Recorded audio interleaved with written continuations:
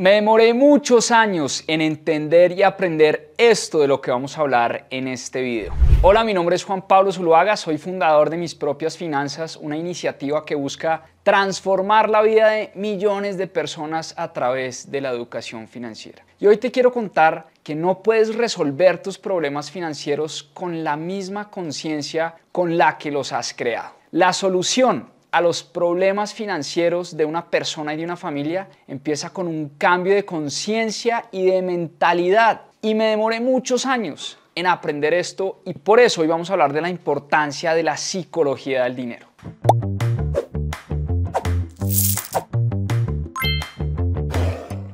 En mi casa, empiezo con una historia personal, en mi casa mi papá siempre me decía, hijo, hay que ahorrar para las vacas flacas. Entonces yo siempre me la pasaba ahorrando con miedo porque no sabía qué eran las vacas flacas. Por otro lado, Caro, mi esposa, nunca revisaba los precios de la carta de un restaurante, por ejemplo, porque en su casa esto no era una costumbre. Cada uno de nosotros tiene una historia particular con el dinero y eso termina condicionando los resultados con nuestras finanzas personales y nuestras inversiones. Y por eso en este video te voy a contar ¿Qué debes tener en cuenta para mejorar tu relación con el dinero desde el punto de vista psicológico? Y es que la causa número uno de estrés en el mundo es el dinero. Este es un juego que hay que aprender a ganar.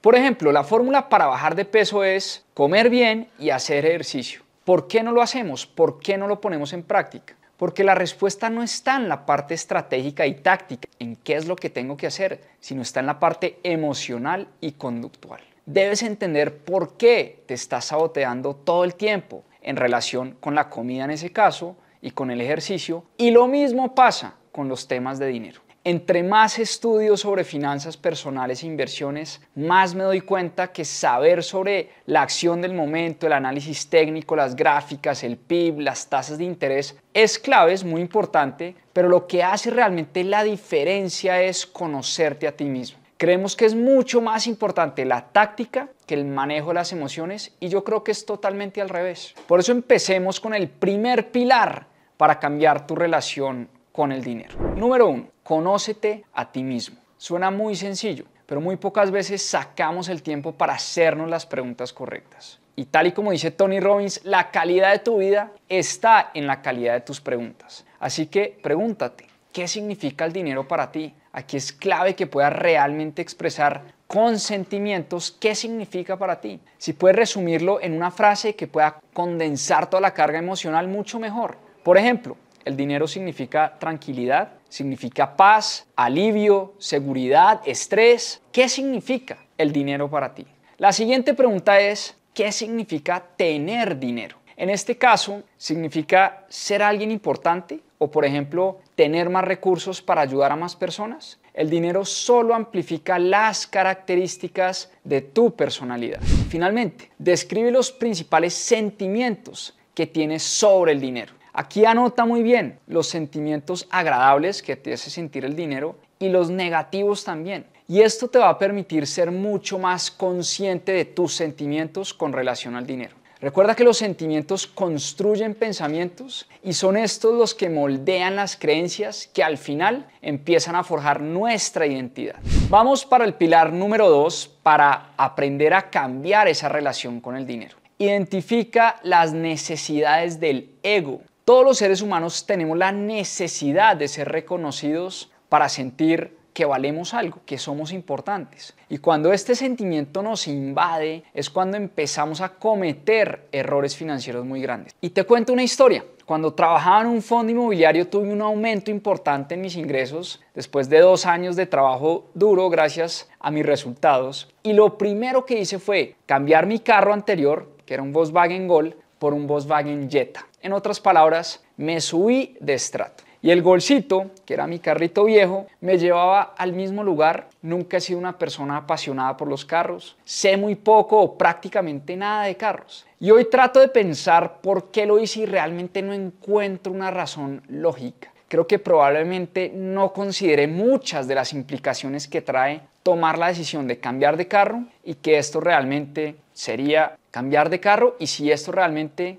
era una buena o una mala inversión. Por eso quiero que te preguntes qué gastos has hecho en los últimos seis meses solo para impresionar a los demás o sentir que vales algo, que eres importante. Ahora vamos con el tercer pilar, seguir aprendiendo para romper paradigmas y creencias que tenemos frente a la abundancia y a la escasez. Para eso te voy a recomendar un par de libros que te pueden ayudar a seguir educándote y entender mucho más sobre la importancia del dominio de las emociones frente al dinero.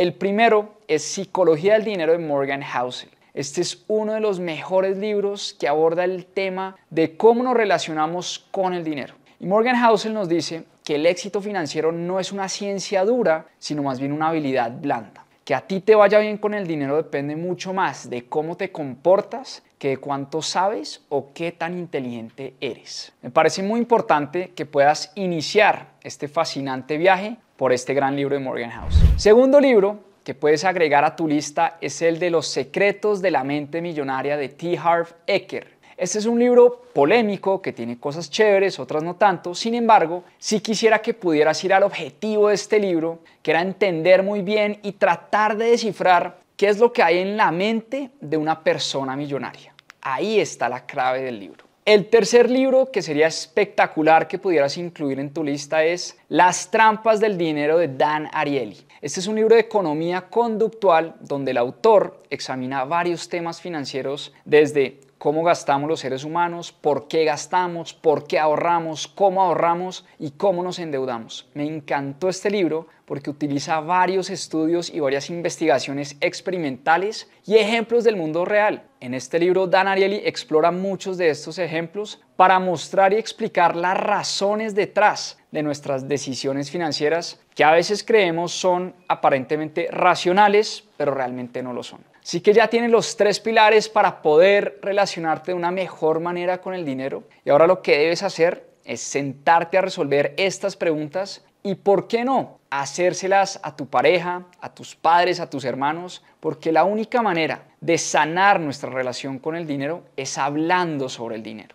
Y finalmente, quiero dejarte con esta frase. Recuerda que una cosa es ser rico y otra cosa es mantenerse rico, diría Morgan Housel, autor de Psicología del Dinero. Y no olvides suscribirte a nuestro canal porque serás el primero en enterarte de nuevos videos que subamos para mejorar tus finanzas personales y tus inversiones. Así que como decimos acá siempre, a seguir aprendiendo.